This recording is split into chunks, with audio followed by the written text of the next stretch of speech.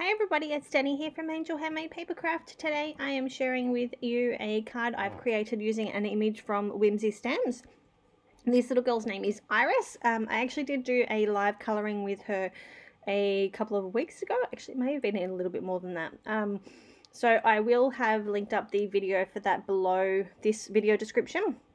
So if you're interested in watching the video, you can do that there. Uh, here I am putting the card together. I'm just using some pattern papers from a Kaisercraft paper pad called Bow and Arrow.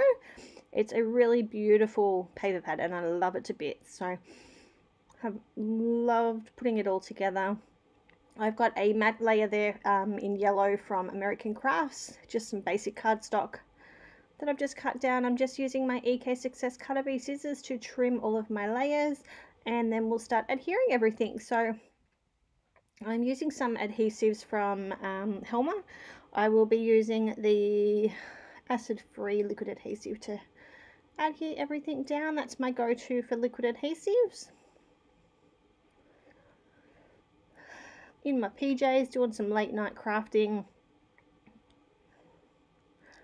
And that's a, a, nice burn that I have on my finger there on my on my um my right thumb. I was doing some cooking the other day and one of the shells fell out of the oven and of course it was hot and I burnt myself. Silly Billy. Alright, so we've just finished decorating the front of the card, just adding on some white to the inside. We'll adhere all of that down. I also did add some uh, Studio Tonic Studios Nuvo Crystal Drops in the Summer Sunrise.